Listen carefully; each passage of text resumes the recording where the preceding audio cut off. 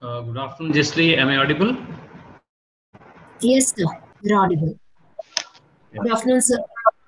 Good afternoon to all of you. Good afternoon. Good afternoon. Good afternoon, Modi ji. Vinu.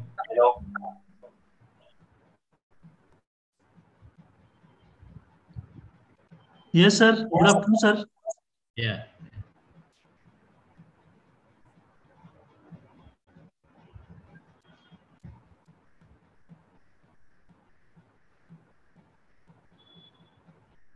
Uh, Professor sir has joined Jesli. Yeah, sir. Okay. Okay.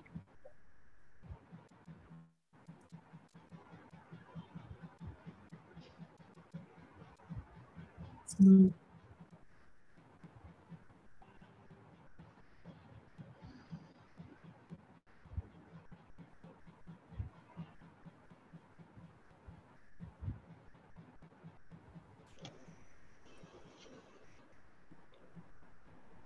Hi everyone, we'll start the session in two minutes, waiting for some more participants to join.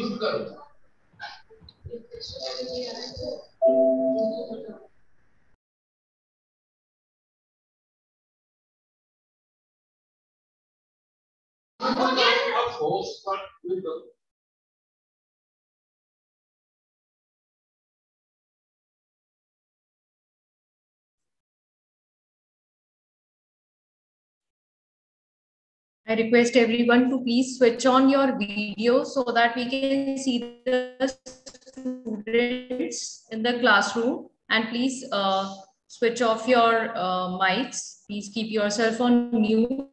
However, you can switch off your camera so that we can see the students in the class.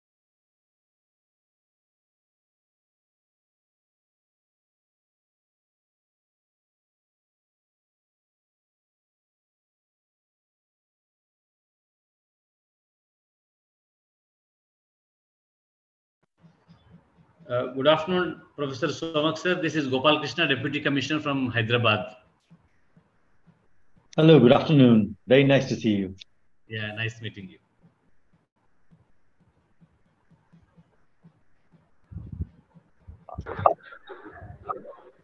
So ma'am, we'll start the session.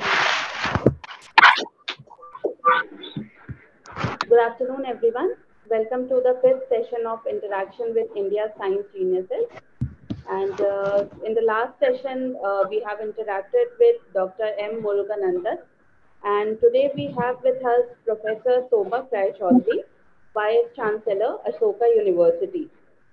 He is the former director of Inter-University Center for Astronomy and Astrophysics, Pune. And uh, welcome to the session, sir. Uh, I would request Gopal Krishna, sir, Deputy Commissioner, Project Coordinator for Vigyan Jyoti, to give a brief introduction of our speaker. Yeah. yeah. Thank you. Am I audible? Yes, sir, you're audible. Yeah. Good afternoon to all of you. It is with great pleasure I welcome you all in the session five of the interaction with India's science geniuses.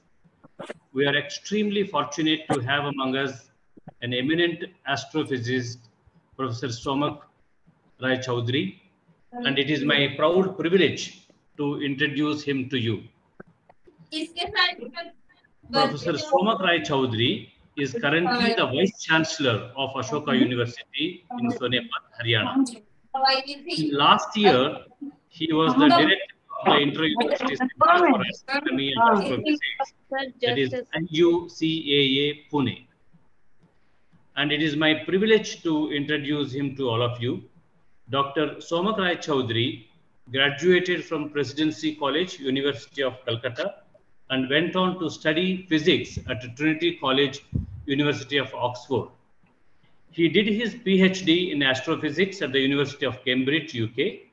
He then moved to the Harvard Smithsonian Center for Astrophysics at uh, Cambridge, where he worked for a NASA project as part of the team that built the Chandra X-ray Observatory, which is now in orbit. After, after teaching for 12 years at the University of Birmingham, UK, he moved back to India in 2012 to help rebuild Presidency College, Kolkata into Presidency University, where he was Dean of Science and Professor and Head of Physics. He moved to Pune in 2015 as the fourth director of IUCAA, which is one of the top research institutions in astrophysics in the world. Earlier this year, he became the Vice Chancellor of Ashoka University.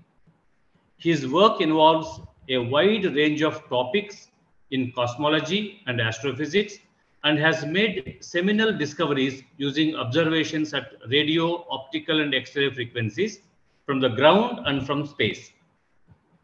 It is very interesting to note that he pioneered the study and also made discoveries of galaxy superclusters as the largest structures in the universe, which includes the discovery of the Saraswati supercluster of galaxies.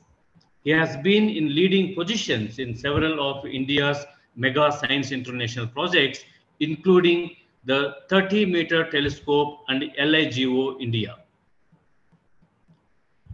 He is involved in developing machine learning algorithms for astronomical data mining. He has published over 80 research papers in peer reviewed scientific journals and also leads a substantial outreach program involving school students, teachers, and other citizens. We are very much thankful to him for accepting this inv invitation in spite of his busy schedule as the Vice Chancellor.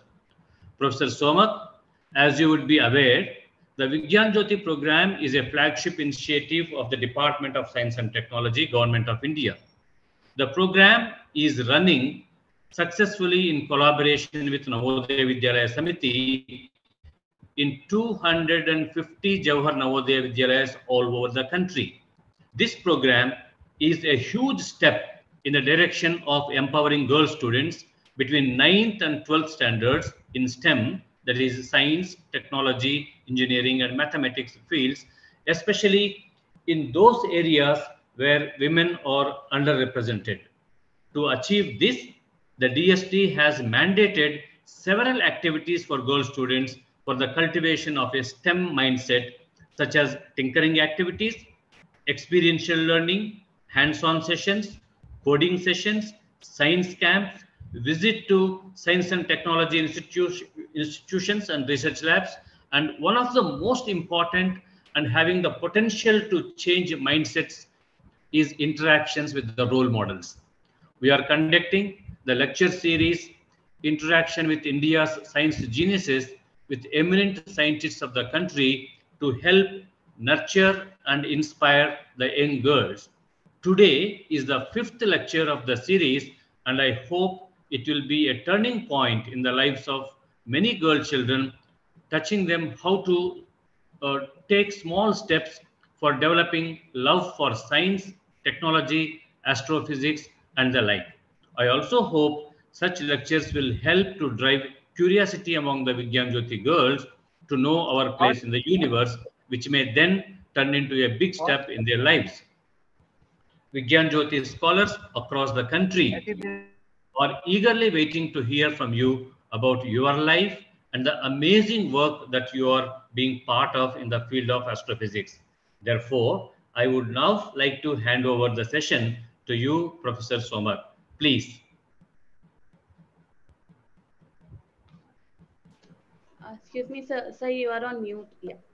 We mute the others. Thank you very much, uh, uh, Mr. Gopalkrishnan. Thank you for this wonderful introduction to me and uh, for inviting me to this, uh, this program. This is a wonderful initiative for empowering and in, uh, inspiring um, uh, students, in particular girl students, to come to STEM. This is the time has come in India to for uh, women to step up into academia and uh, take control of various research projects and uh, and academic projects that's happening all over the country.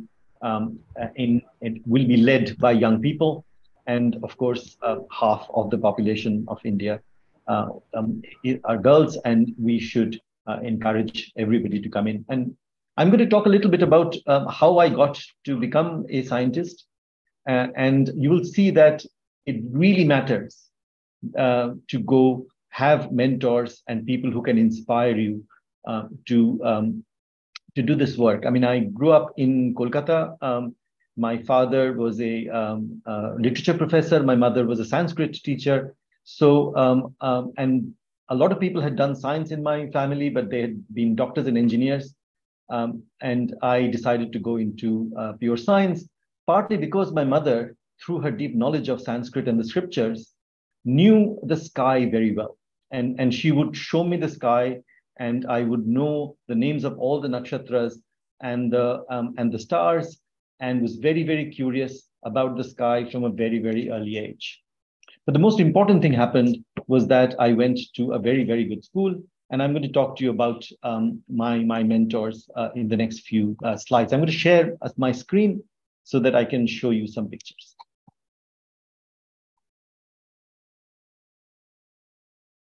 So the school, I you, you can see my slide, right?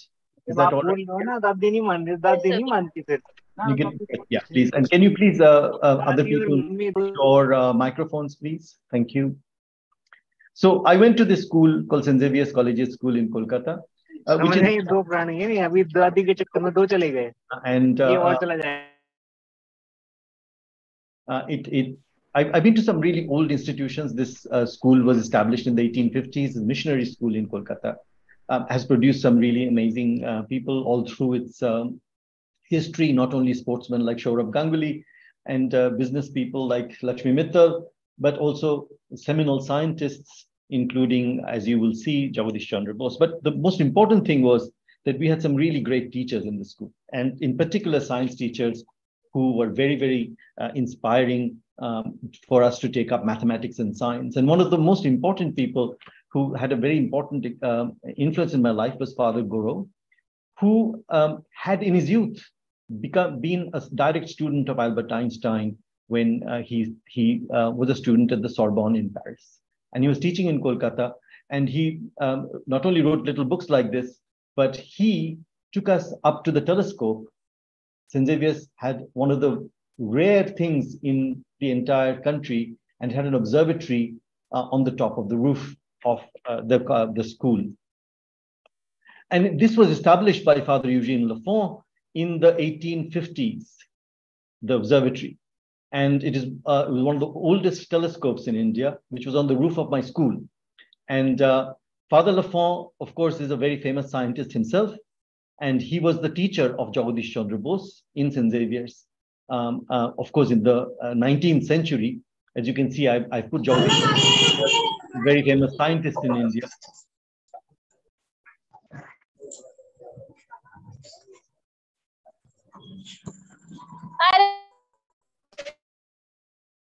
Um, can you hear me?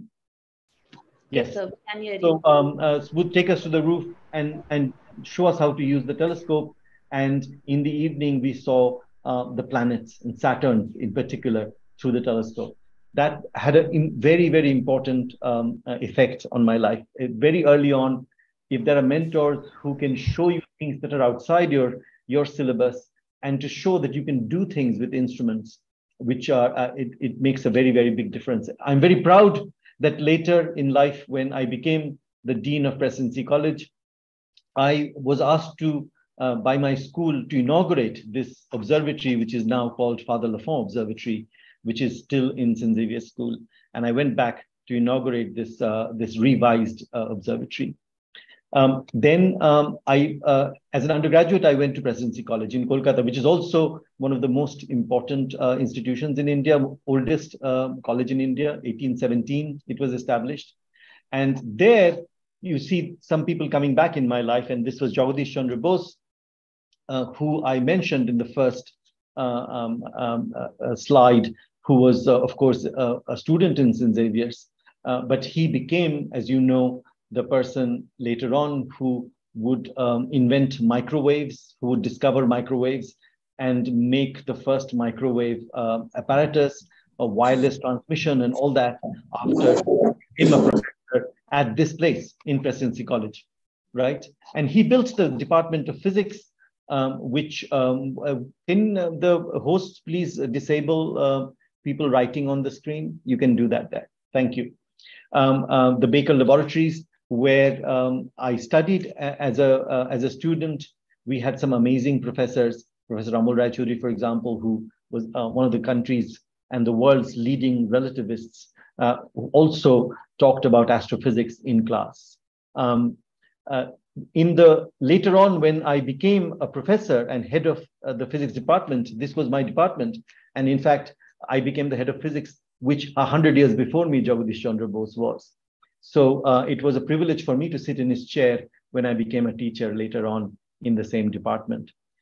The department was very inspiring for not only having inspiring teachers, but also the library was fantastic. It opened up a, a lot of uh, uh, vistas for us in, uh, in looking at various, uh, um, uh, various research that's going on.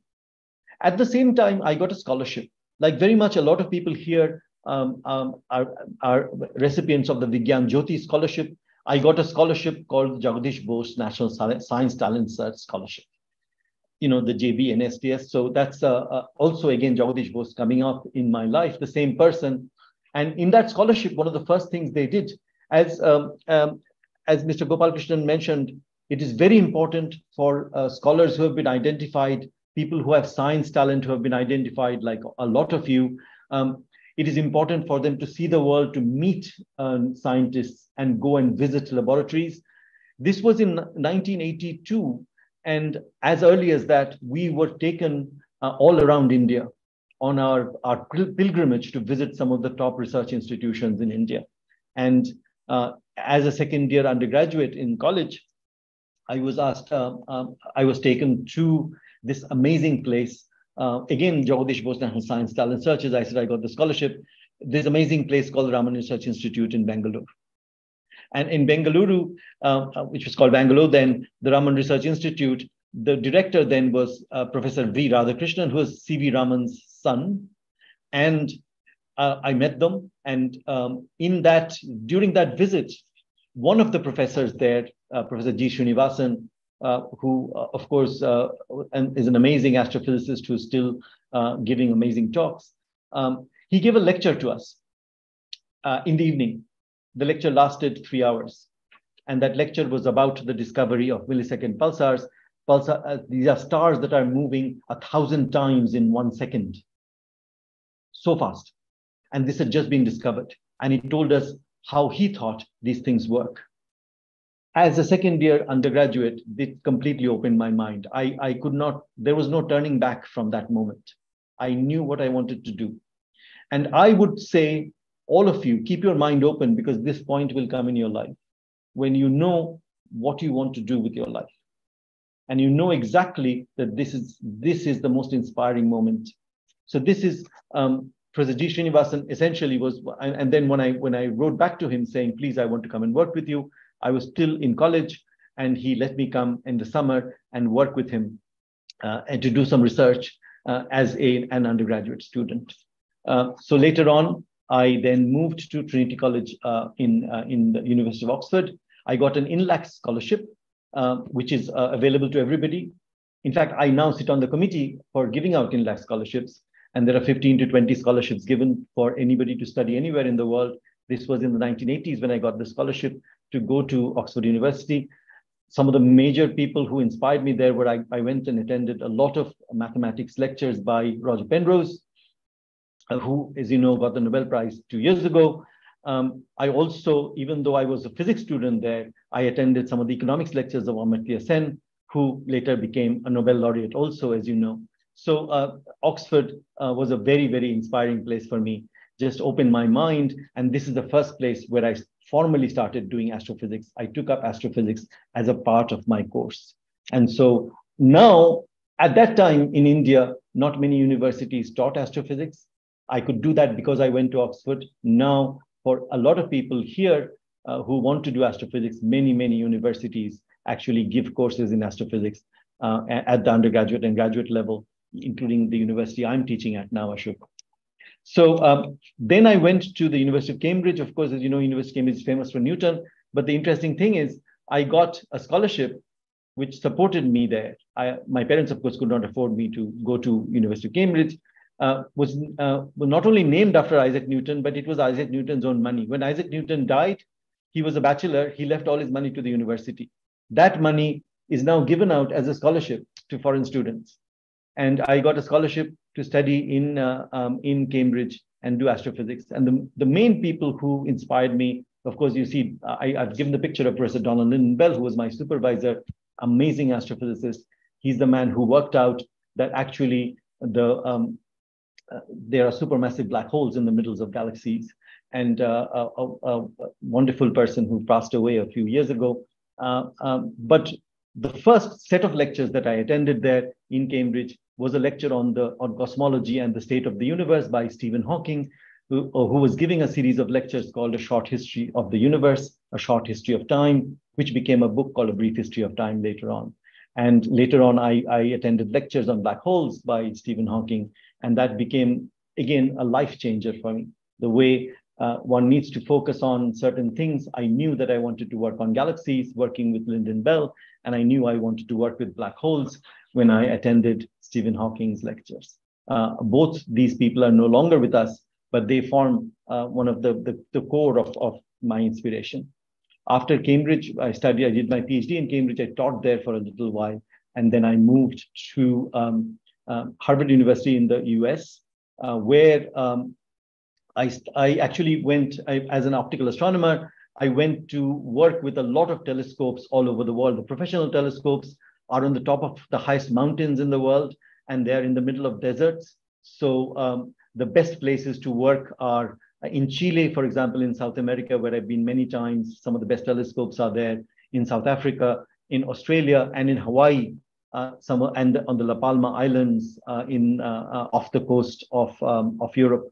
So these are some of the best places where I've been and worked. One of my most favorite places, of course, is the MMT Observatory. Here I'm giving you, spent long, long nights, many months working there um, uh, in, in Arizona, which belonged to Harvard. Then uh, I got involved in a NASA project to build an X-ray telescope, which uh, was uh, which uh, was named after the Indian astronomer Chandrasekhar, uh, called Chandra, which was built to detect black holes in, in space. And this was launched in 1999. And I uh, was part of the team that built some of the instruments for this uh, space observatory. This got me into space astronomy. And even now, I work a lot on astronomical observatory in space. So I work with telescopes both on, um, on, on the ground and in space. Um, so after um, uh, I, I, spent quite a lot of time in the US working there, I came back to work in uh, in Pune uh, at the in uh, Inter University Center for Astronomy Astrophysics, IUCAA, where I worked for five years as a, a junior uh, a professor, assistant professor, uh, and then I went back again to England to teach at the University of Birmingham. But in at the uh, IUCAA, when I came back there as director in, for the last seven years, uh, the 12 years I worked here was wonderful. This So, uh, uh, research institute in India, which was built for to, to inspire teachers uh, in India, uh, college teachers, to do research in astronomy and then um, pass that on to their students. So we, uh, in, in during this time, we interacted with a lot of students and a lot of universities, and we set up different departments within Indian universities where astronomy is now taught.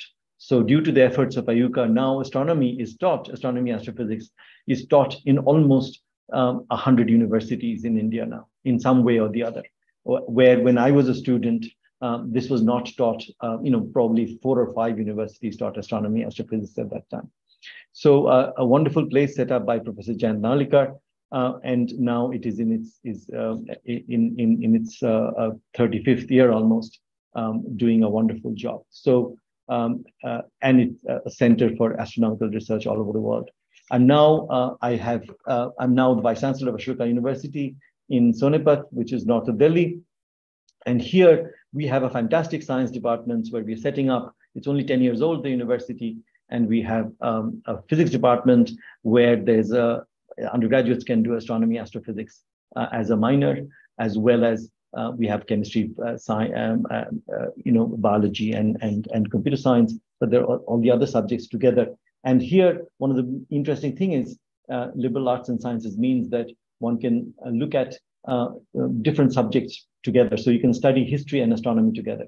You can study history and biology together. You can study sociology and, and chemistry together things like that. So that's the, the very interesting thing where we're looking at. Um, and, and 60% of our students are women, are, are girls. So that is uh, another very interesting uh, direction in which our country is going. A lot more uh, of, of girl students are coming into science. So um, this is my journey all the way. And I, I wanted to tell you how, uh, what kind of institutions I went to and the roles some of the people played in my life, not just people who I interacted with, people who are associated with the institution, like I said in my school, the tradition of my school and college of the older generations that set up the infrastructure to which I went was very, very important. And I can talk about this later on if you want. Um, shall I pause here or shall I talk a little bit about my work? I'm asking the organizers. Uh, so you can talk about your work. Good. You. I'll, yeah, I'll just continue here and I'll talk a little bit uh, I've done quite a lot of things of, in astronomy all through my life. But one of the major things that I did when I started my career was to look at where we are in the universe, right? So one, one of the questions is, you know, just like you know that we are in India, a country which is in the world, um, in, in the world where there are continents and there are uh, oceans, and then uh, people go out, went out and, and figured out how um, the uh, the different places are where the where the different people live in the universe uh, in, in on the earth and you know where you are with respect to the earth. We can ask the question where is the earth in the universe? And this is one of the things that people were trying to discover uh, not very long ago. I mean we actually knew about the universe only less than 100 years ago and uh, uh, before that it, people didn't know that we live in a galaxy and uh, um, and the, our, our star is a star in a galaxy and things like that so astrophysics is a very new subject. And one of the things we're trying to do is to figure out where in the universe we lie. So here you are. If you look at, for example, uh, the sky, it looks like this. You see a lot of stars, right, with the naked eye. But if you take a small bit, small bit like this and expand it and take a big telescope and look at that in great detail, say the Hubble Space Telescope or something like that, you will see that that blank space is just full of these fuzzy little objects. And these are actually we call galaxies. And each of these have millions and billions of stars in them. In fact, in this picture, everything is a galaxy. Only there are two stars which are marked with a cross, right? So just going from a naked eye picture of the, of the sky to something through a telescope, you can see, you can look through. And, and the fact that these are galaxies and these, these galaxies have lots and lots of stars in them we only started understanding in the 1930s, less than 100 years ago. You have to understand. So this is a young subject, and this is the beginning of astrophysics rather than astronomy, uh, where we are trying to understand the universe through the application of the laws of physics that we learn in school, right?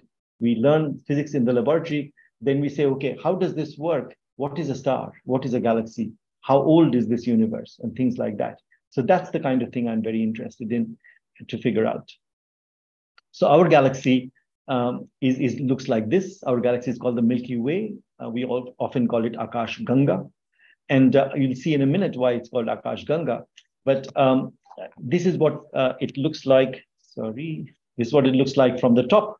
Uh, it, it is a flat galaxy with lots of spiral structure. And if you look at from the side, it is very flat. It's like a chapati with a bulge in the middle. And here you are, you can see we're not in the middle of this galaxy. We are set aside to one side. And that's where the sun is, and a planet around the sun is the Earth. right? And so this eight kiloparsecs means 25,000 light years. So it takes 25,000 years for light to come from the center of the galaxy to us.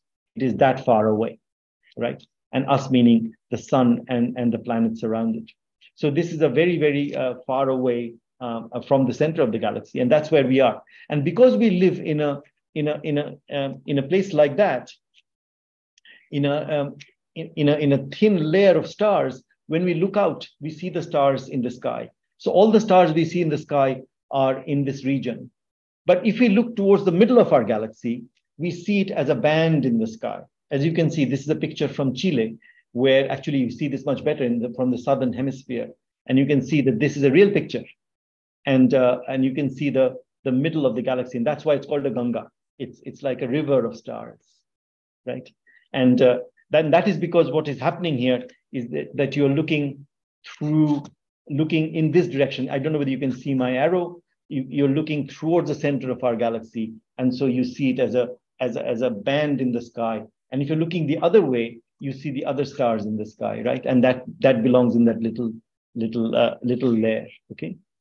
So this is a real picture, as you can see, and and so there, and you can see that we are in a galaxy now. The nearest galaxies are are these things. For example, they're tiny galaxies. There are moon galaxies. Our galaxy is the Milky Way, but there are little galaxies that are going around it, like the Earth has a moon, or Saturn has about 100 moons that go around it. The satellite galaxies, this one is, for example, called the Magellanic Clouds which you can see with the naked eye. This you can see with normal eye uh, in the southern hemisphere. From India, you can't see it. It's too far away. It's below the horizon, right? And that's why I showed you a picture taken from South America. So this is our galaxy. Now there, there are lots and lots of. So the universe, as we learned in 1930s and 1940s, less than 100 years ago, is made of galaxies. And inside the galaxy are these billions of stars, like these. And this sometimes the galaxies are are, are, are merging with each other, playing with each other, uh, interacting with each other, uh, and, uh, um, and, and things like that, right? So here is uh, the, the local map. I said, I'll tell you what where we are in the universe. Here's the Milky Way with lots of little galaxies around it, right? And this is only a few. There are 40 or so we know of, which are our satellite galaxies. And then there's the Andromeda galaxy, which is also um, uh, another big galaxy with lots of little galaxies around it, and they are falling towards each other. And one of the first things I did as a PhD student in Cambridge was work out what is going to happen to these two galaxies. And my first paper was written about how these two galaxies are coming towards each other. And I worked out that it'll take about 4 billion years. And that is uh, 4,000 million years uh, um, to, for them to come together and merge, right? They'll come together and merge and become one single galaxy. So that's that's the kind of very interesting thing that you can do. You can do computer simulations that allow you to do this. And I'm I'm going to pass on. So then you look at what what what does it look like over the universe? And we now know that the, if you look at on a large scale over the universe in the last 10, 20, 30 years, we are looking at making maps of galaxies it looks like this. It's very much a filamentary structure, and galaxies are, are, are distributed all over the universe uh, on these filaments. And we're trying to figure out why. They, uh, on the large scale, the structure looks like a spider's web. And uh, so we call this a cosmic web. And the galaxies lie on the cosmic web and move around on the web, go around. And so you can ask the question, and this is one of the questions I asked when I was a, a, a student uh, how large can these structures get? How large are these webs? Do they go all across the universe? So we learned that galaxies live in clusters. There are thousands and thousands of galaxies, they live in clusters. And then clusters live in clusters of clusters, which we call superclusters. This is one of the things that was mentioned when I was introduced, that one of the first things that I did as a young astrophysicist was introduced this concept of superclusters. And when I was one of the first people who worked on the concept of superclusters and found some of the largest structures that exist in the universe of galaxies. They're made out of tens and 20,000, 40,000, 50,000 galaxies, uh, or even more. And, and they, they, they are in this kind of large structures going across. And for example, uh, one of the first things that we found um, was something that I call the Shapley supercluster, which I discovered while I was a PhD student. I've done work on it all through my life. This is, has uh, uh, more than 10,000 galaxies and, uh, and uh, has a, a big structure that, uh, that can be mapped out.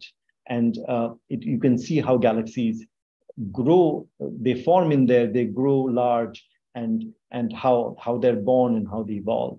All that can be done. And this is all, this was um, in, as you can see, uh, about 20 years ago, we started working on this and we've been working on such things.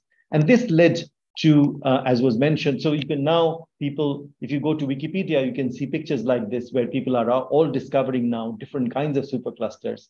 And here we are right in the middle of kind of a sphere, and you can see around us are these big structures of galaxies called superclusters, and you have uh, uh, you know, in this, you can see the Coma supercluster. There's the Shapley supercluster. Now Hercules. People give them names. Uh, these are structures of, um, of, of, galaxies. And uh, a few years ago, we discovered one of the biggest such superclusters. I think it is now the biggest that has been found, the biggest structure of galaxies, and that is called the Saraswati supercluster. We, uh, I, with some of my colleagues he, in, in IUCAA in Pune, found this and then it is uh, um, it has uh, uh, 40 massive clusters in it and spans a very large um, part of the sky. And so we're now discovering more and more bigger and bigger and bigger structures. And, and the question then is, how big can these things get? Now, this caught the uh, imagination of the newspapers. The newspapers published a lot of uh, um, uh, pictures of it. Um, the reason we called it Saraswati is because you remember we call our own galaxy Akash Ganga, and it's it's the, we, we call it the river in the sky. Saraswati is a mythical river that was lost, and we cannot find it anymore. And we thought this is this could be named after Saraswati. But you know, I mean, if you attend lectures like this, you can sometimes get some advantage other than learning about astrophysics. For example, if this man had attended my lectures, he would have won Kaun Banega Crorepati in 2017 this was the last question, which was up for one crore rupees by Amitabh Bachchan. And he asked this question, and the man who was there couldn't answer. He lost.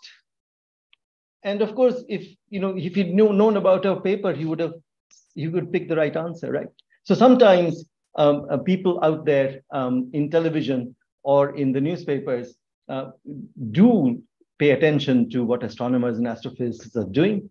But there you are. So that's one of the things that I, I work on. I'm going to stop here and, and see whether um, uh, people have questions to ask me. So thank you very much for listening to me.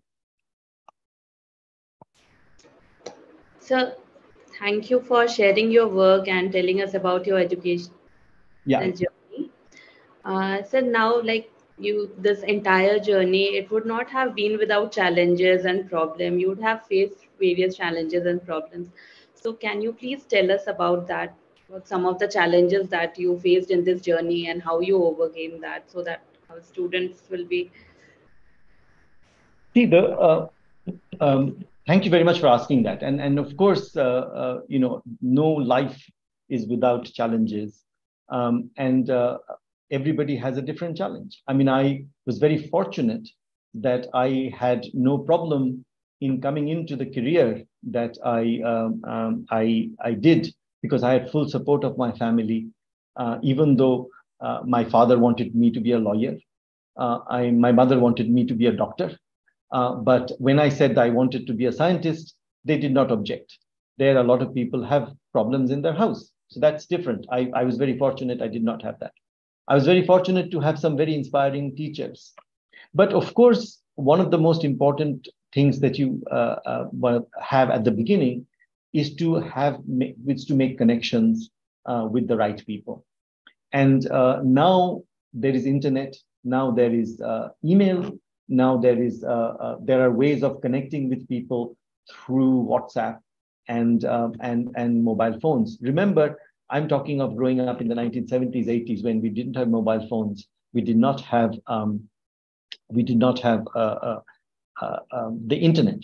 And, and so one of the first things one had to do was to learn uh, how to um, um uh, how to communicate, how to um, uh, have access to knowledge. uh, and a wonderful library we did have. But the first challenge I had was to learn how to use computing. And that is actually a, one of the major things that you have now. In those days, computers were not, um, you know, uh, things that were on the on the desk. They were large room-sized things, and you needed to learn how to um, how to how to program them. And and uh, this I had to learn by myself. So this was a big challenge uh, because we were not taught such things in school. So I'm now a student in classes taught computers and computer programming, etc. But there are other things they have to learn. So the first challenge is to learn the skills that you need to do your work. You you might need for each of you, it would be a different skill. It could be language, it could be writing in English or writing in Hindi, or it could be um, expressing yourself, uh, coming in front of people and giving a talk. So these are all skills that are needed. These are general skills. And I thought, well, because I had uh, all these opportunities with great teachers and great family, those were not my problems. My problem was to figure out how to acquire the skills I needed to learn uh, to do astrophysics. And the two things I, I, I thought were important were learning how to use computers, which I had to learn myself, and I had to go to computer class and, and, and learn to teach. Even when I went abroad, this computing was not taught in class, even in England. So I had to go and learn things from computer classes uh, separately. And then I had to realize that I had to learn much more mathematics than I knew. So that I, so outside my classes, I started going to mathematics classes and learning mathematics. So th- these were big challenges. Later, I mean, uh, later the challenges were um, um, to um, then um, work in India uh, as opposed to working abroad. What happened was that uh, when I worked uh, in the US or in the UK as a research student or as a scientist, one had access to a lot of facilities, uh, had access a lot of money to, um, to go to these facilities. Uh, working um, back in India, when I first came back, was very, very challenging because these facilities were not there. And so one had to find ways of gaining access to these facilities. This is changing very fast. So the students who are listening to me now will have a different set of challenges in terms of working, even working in India and, and, and gaining access to knowledge in India. But in my case, it was gaining access to international facilities, gaining access to international um, uh, scientists and, and forums and things like that. Um, I, I it, it, would be very interesting to see what challenges um, the students coming up now will have. They will be very different because they grew up in a in a in a uh, in an era where information is everywhere, instrumentation is everywhere, and so the challenges will be slightly different from the challenges I faced. Thank you, sir. Thank you for sharing your insights on this. And uh, yes, you told correctly that wherever we want to work, we need to learn the skills first. So I think this will be a lesson for our students. Uh, sir, one last question that I'll be asking after that students will ask their doubts. So what is your vision for the students in India towards STEM careers, especially for the girl student? So I think it's a very good question. And um, I'm happy to say that, um, and one of the reasons I came back to India after working for 25 years abroad is that I thought that this is the time when um, Indian science is really taking off. STEM careers in for students who are trained in India and who work in India is now poised to become really wonderful for many reasons. One of them is that there are quite a lot of facilities now uh, that um, people working in India have access to, not just abroad, but also on Indian soil. Uh, over the years, the governments have worked together to start building facilities within India, and Indians, Indian science has now joined hands with big facilities abroad. When I was a when I was a student, India was not part of any global science initiative. Even as a physicist, if you look at you know uh, places like the Large Hadron Collider and CERN, where all the particle physics experiments go on, or in, in global space initiatives, India was nowhere. India was not part. Now, not only are we members of CERN, now ISRO is launching world class satellites and, uh, and observatories. And um, from India, as was mentioned at the very beginning, India is now part of some really global initiatives in, um, in, in science. For example, ITER, which is the uh, fusion um, experiment where energy from fusion is being generated. It is based in France, but it's an international research project, and India is part of it. And in the Indian government is paying a lot of money for India to be part of it. And Indian students and researchers are part of it. This is uh, this is in physics, uh, in nuclear physics. In astrophysics, we have the 30 meter telescope. We have the LIGO, as was mentioned before, the gravitational wave observatory, which was now being um, uh, uh approved by the government to be built in Maharashtra. Uh, the uh, the 30 meter telescope will be built in Hawaii. India is part of it with America, Canada, Japan, and China. And then uh, there's a square kilometer array, which is the radio telescope uh, um, experiment uh, based in South Africa and Australia, and India is part of that, 20 other countries. So, uh, so Indian astronomers and physicists are working with this all over the world, and I'm talking about just my subject. This is everywhere. Now, not only that, the facilities like LIGO are being built in India. The giant meter wave radio telescope outside Pune, GMRT, has been there for more than 20 years. And it, for a long time, was the largest radio telescope in the world, built entirely in India by Indians. And when I worked in England, I used to come to India to work that with that telescope. So there are amazing facilities in India now for Indian astronomers, physicists, chemists, biologists to use STEM all over the place.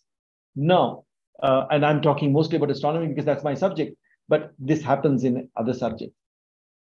Side by side, education in STEM is now taking off everywhere. Universities are, are very, very strong in STEM subjects now, and partly because of uh, um, this attention to STEM education, as you see in the Navodaya Vidyalayas now, but coming up into the universities in the um, in in uh, um, uh, and and people are are now interacting more and more with uh, with with scientists.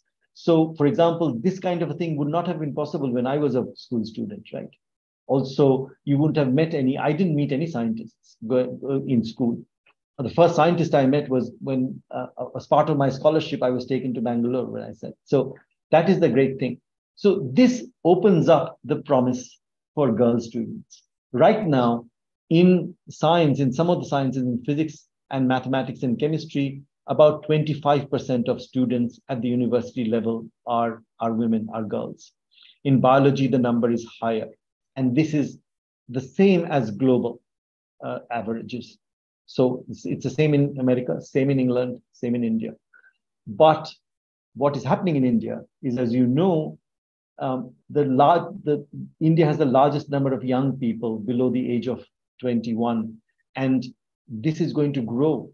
Below the age of 25, India will have the largest, for a long time, the largest young population because in other popul- uh, other countries the population is actually declining.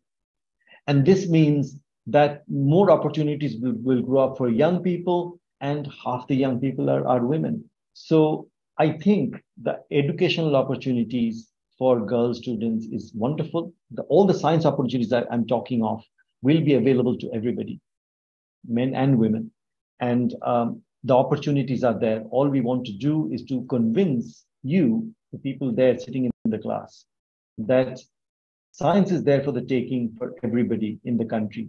And in the future, in 10, 20 years, people from abroad will come to India to do science, as we in our generation went abroad to, to become scientists, right? Already this is happening. I'm sitting at a university where we have hundreds of foreign students. I have colleagues who are foreign nationals who have come to India to teach in a university. This is already happening. And you'll take part in this whole thing uh, sitting in India. Thanks. Please go ahead. Thank you, sir. That was very encouraging and uh, for our students also. But uh, now I would like our students to ask the questions. So uh, first we have Ms. Sanjana with Sarjana with Biswas from JNV Murshidabad. She's from class 2. So, Sajjana, you can ask the question. Good afternoon, ma'am. Myself, Sarjana Biswas of class 12 science from JNV Murshidabad. Sir, sir, I want to ask a question. In simple term, can you explain us to the concept of black holes, especially the difference between the stellar mass black holes and supermassive black holes? Okay. Well, that's a very, very, very good question. Uh, uh let me um, uh, let me uh, start with what black holes are. So, uh, what black holes are are they are they're stars, but um, they're stars from which light cannot escape. So think about you must have learned in school about the concept of escape velocity. So what happens is that if you have something that has gravity like the Earth or the Sun, you need a certain amount of velocity, which in terms of kinetic energy, you need some kinetic energy, which corresponds to a certain velocity, which you need the minimum amount of velocity to escape from that object, right? So from the Earth, uh, you can jump up and you'll come down. That is because you don't have the velocity to escape. But for a rocket to escape, you need that kind of velocity, right? So you need many thousands of uh, uh, kilometers per hour in order to uh, escape from the Earth. And you can work that out from Newton's laws. And I don't know whether you know the formula. It is square root of 2 gm over r for a spherical object, right? So m being the mass of the object and r being the radius of the object. So if you uh, put in um, Earth's uh, mass and Earth's radius in there, you will get the escape velocity. Now, that velocity gives you the amount of uh, velocity you need to escape from the Earth. So rockets need that. No? So here's Chandrayaan going to the moon. So you need to find that velocity so that you can escape. Now, what, what happens if, if the Earth with the same mass becomes smaller? Then, because the formula has m divided by r, r becomes smaller, which means that velocity becomes larger. So the object, as it becomes smaller and smaller, the velocity needed to escape from it becomes larger and larger and larger. Okay. And, and then finally, the, the velocity can be more than the speed of light. What you probably know is that there can be no velocity more than the speed of light. So if the escape velocity from a certain object is more than the speed of light, even light cannot escape, nothing can escape. That is called a black hole. So we can, we worked out, and of course, you can't work it from Newton's uh, laws of physics.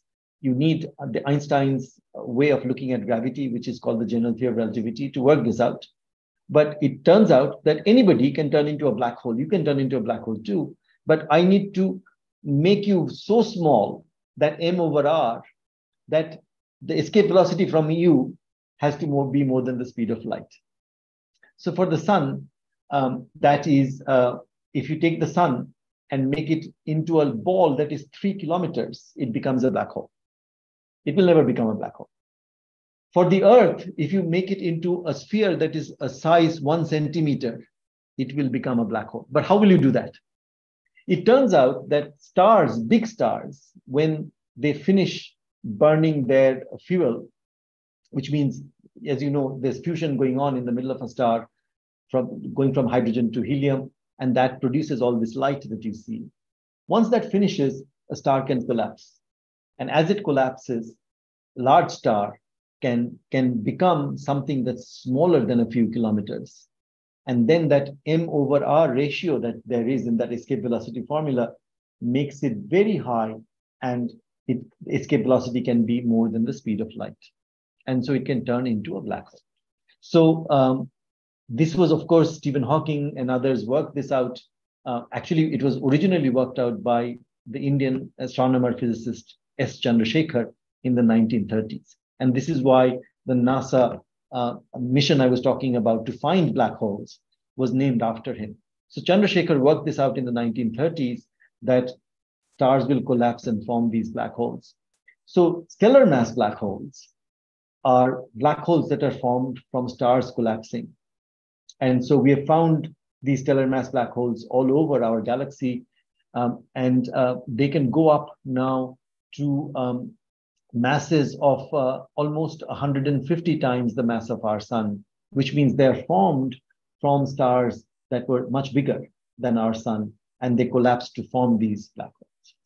Now, there is another, we also know of another kind of black hole, which exists in the middle of our galaxy. I showed you the picture of the Milky Way galaxy. Right in the middle, there is a, a, a black hole.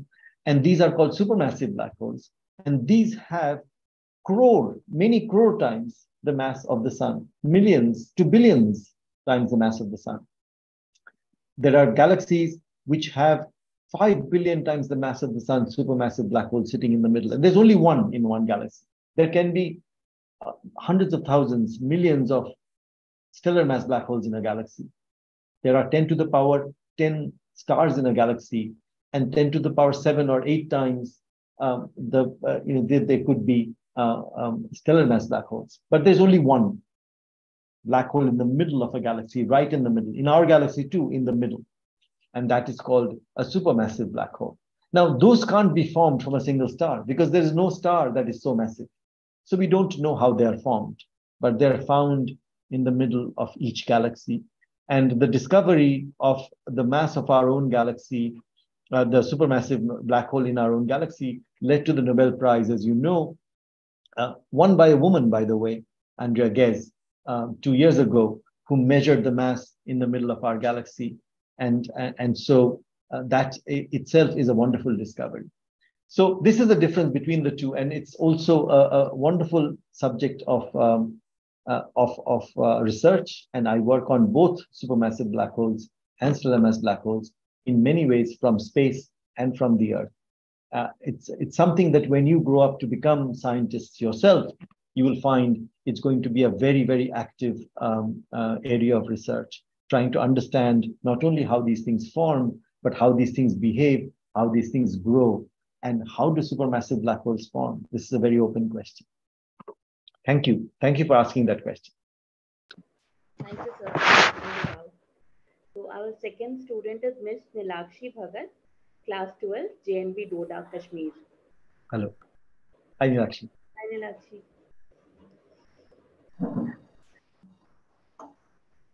Good afternoon, sir. Sir, I'm Nilakshi Bhagat from JNV Doda. So here is my question for you that as we all are very excited about our country's mission Chandrayaan 3, we want to know the main objective and different stages of this mission. Right. So that that's that's oh, of course it's the most most most uh, um, uh, exciting time for us. Chandrayaan three was launched, as you know, last week, and um, and uh, there um, uh, this is following up from Chandrayaan two, which was launched in um, uh, uh, four years ago. But the, the idea is that um, this mission, as you know now, is in an orbit around the Earth. It is uh, not, it hasn't attained this escape velocity I was talking about yet. To attain escape velocity, you can't just go shoop out from the Earth. It takes a lot of fuel. So what you do is you go up in orbits that uh, increase slowly, and these are elliptical orbits with the Earth in focus. So it goes, it becomes larger and larger and larger and it will go up to something like 250 kilometers uh, from the Earth at one end and um, quite a lot, about 30,000 kilometers or so at the other. And these will become uh, large ellipses, and then it will transfer to an orbit around the moon. And there, it will start with a very large orbit, and slowly uh, that orbit will shrink to down to coming as close as 100 kilometers to the moon. And from that, a lander will land on the moon. This is the whole point. In Chandrayaan 2, the lander was part of the mission. There were eight instruments on the Chandrayaan 2 itself, which is the, the thing that orbits the moon and is still orbiting the moon. It is now doing a lot of uh, experiments and sending us data. But uh, it uh, the, uh, the um, Vikram lander, uh, which uh, it tried to land on the surface of the moon in 2019, uh, as you know, did not land properly and crashed. And so this year, the main focus has been not the orbiter. There's only one instrument on the orbiter, but the lander is the main instrument and it's going to land. Now, the idea is to land near the south pole of the moon, which nobody has la landed before. Before this, only three countries have landed anything on the surface of the moon, and that is India. So in, in USA, Russia, and China. And they've brought back things from the moon but um, we are planning to land, and they've all landed in the northern part of the moon. In the southern, what's so special about the southern part of the moon? And that is in the southern part of the moon, there are very high mountains and very deep craters. And so there are a lot of places which are shadowed permanently. So sun's rays don't reach there. There are some parts there which have temperatures that is as low as minus 200 degrees. And in these temperatures, there are lots of uh, chemicals which are in solid form. These are gases. And in particular, there is water. We know that there is water. Chandrayaan 2, in the instruments from the orbiter, has measured and shown the great evidence for water to be there in, in all over the moon. Now we have to find where this water is. And we think that it is in the southern hemisphere in these dark areas where sunlight does not reach in form of ice. And this is why we are going to the southern part of the moon, which is also largely unexplored. You know, even on Earth, uh, you know, going first into the southern hemisphere, going into Africa, going into southern America was a big thing for our explorers. Here we're going to the southern part of the moon. And there we not only hope to find water, but other chemicals as well, other minerals that people have not found before. And another, there's another reason for it. And this is, you know, the Earth and the Moon formed at the same time from the same nebula when the sun was forming. And so by, by actually studying the moon, and so when it formed, they formed in a very fluid form and then they solidified. So a lot of the layers are mixed up in the moon compared to the Earth. So there are things that are near the surface of the moon that are deep below the surface of the Earth. So there are lots of things you can find on the moon that you can't find on the Earth because you have to dig very deep. Some minerals, for example, which are on the surface. So, and the second thing is also studying this makes us also understand how the Earth formed. So people who are uh, very interested in the Earth are studying the moon to know Earth better. So that is another reason why we are exploring the moon so much to find out how the moon formed. It is easier to understand. And so if our rover uh, and lander lands, and I'm very uh, hopeful it will because uh, for the last four years, we've studied what went wrong last time. And uh, a lot of people have put their minds together and figured out there were so many difficulties and, and they've all been corrected now. And so we hope, fingers crossed, that it's going to land on the 23rd of August. And then from that for 14 days which is one lunar day one one sun uh, moon's one day is one um, 14 days long there will be these experiments uh, where the um, the rover will go around and, and look at various parts of the southern hemisphere of the moon and we'll get data from it. So that's very very exciting uh, and uh, i'm really looking forward to it. Wonderful wonderful experiment thank you sir and yes we all are looking forward for this so let's see uh, so our third question is from a student named Miss Reena Saini. She is from class 12, JNV Jhunjhunu, Rajasthan. Hi, Reena. Hi, Reena. Good evening, sir. I am Reena Saini from JNV Jhunjhunu. Sir, we have read we have read that you were among the key people to start the Indian Astronomy Olympiad. Can you please tell us more about the initiative and the exper experience surrounding that? Okay, thank you. Well, that's that's interesting. Yeah. So, so that uh, there, there are just like there are Olympics and Games, in all subjects there are Olympiads which are happen all over the world and countries uh, participate. So there's the physics Olympiad, the biology Olympiad, mathematics Olympiad, and India does very well in them in the 1990s, when I worked at IUCAA in Pune, uh, there was only one astronomy Olympiad that was held in the Russian countries at that time. And uh, um, um, outside Russia, not many people were uh, participating in it, but there was the only astronomy Olympiad. So um, I first organized a team, I trained a team from Pune to send to the first Olympiad in Moscow. Uh, and then uh, um, uh, we actually got ISRO to um, fund the, um, the Olympiad, the trips of the students as well as the teachers who went to compete. And they did very well. They um, got a gold medal and some silver medals. And uh, so we thought this would be a very interesting uh, way to start an Olympiad in India. So the next year, we had uh, an internal Indian Olympiad which was held in about 25 different cities uh, and the planetariums uh, and science centers in the cities held examinations for us and selected students. And then we brought them together in a camp in Khandala for three weeks and trained them. And we also got quite a lot of books from Russia to figure out what kind of questions are asked in this Olympiad. This is not just sit down exams, but there were exams to do with telescopes and uh, experiments and things like that. And uh, India that year got a couple of gold medals. And uh, so it all started, and ISRO got interested in giving us money. The next year, India became the champion, um, getting three gold medals. And uh, it was held in the Ukraine, in Kiev, with the war going on now.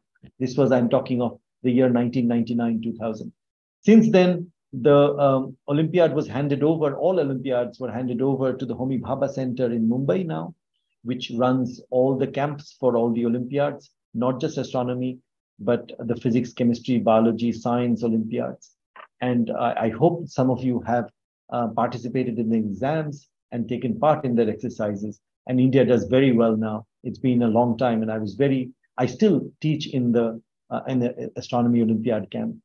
Uh, and uh, I've been very happy to be associated with from the very beginning. Thank you.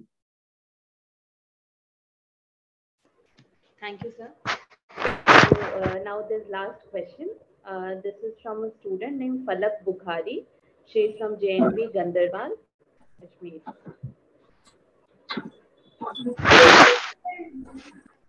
Good evening, sir. I am Falak Bukhari from JNV Ganderbal, Jammu and Kashmir.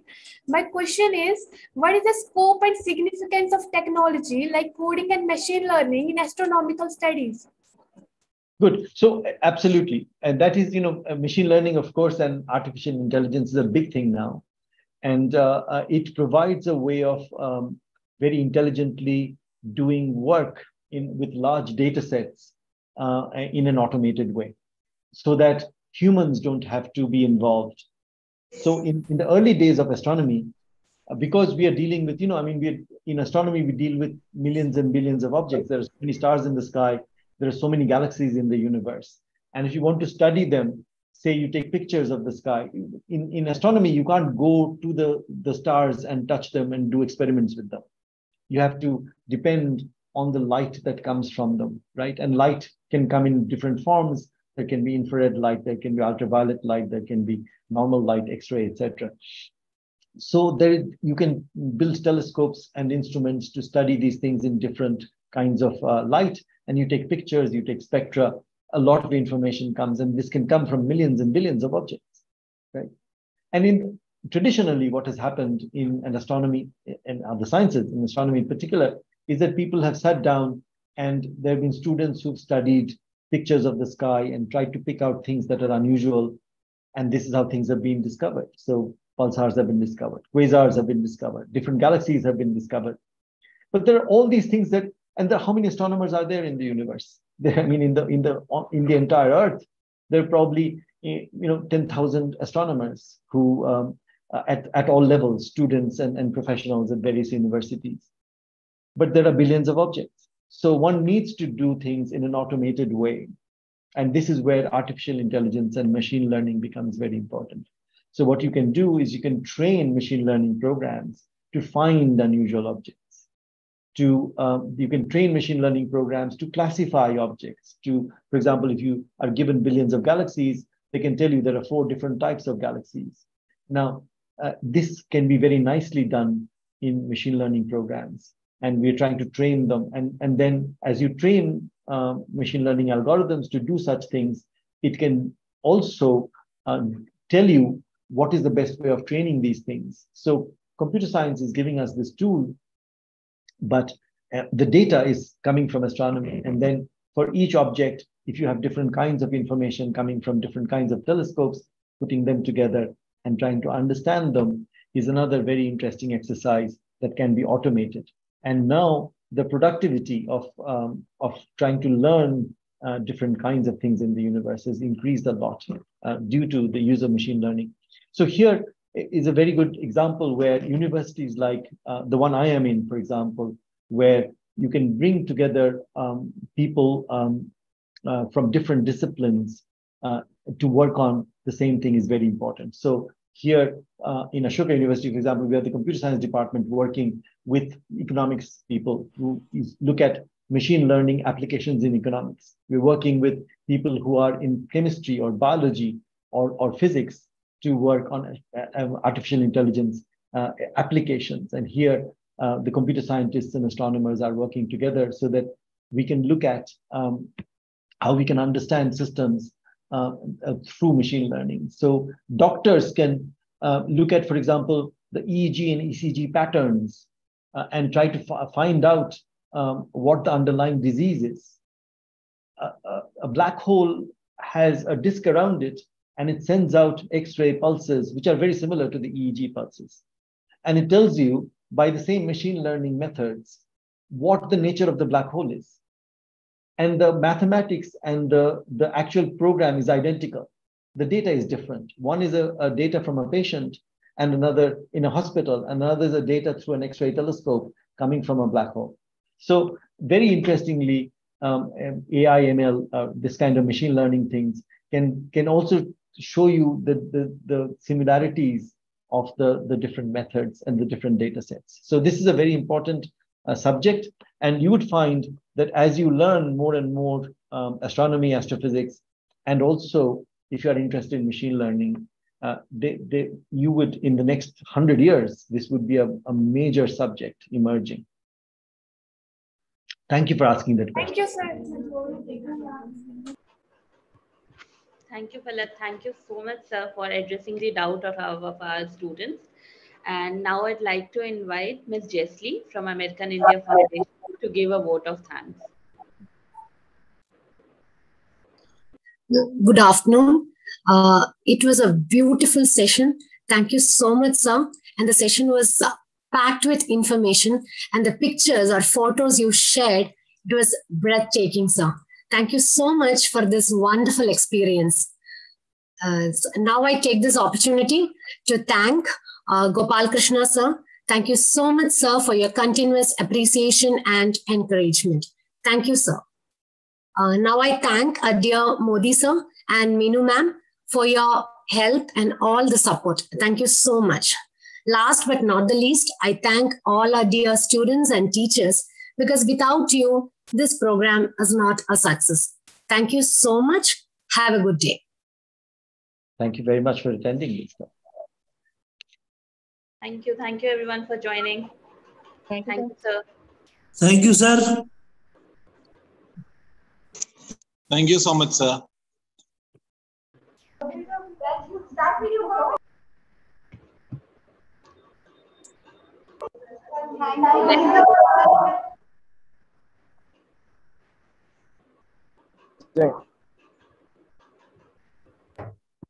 Thank you, sir. Thank you, sir. Okay.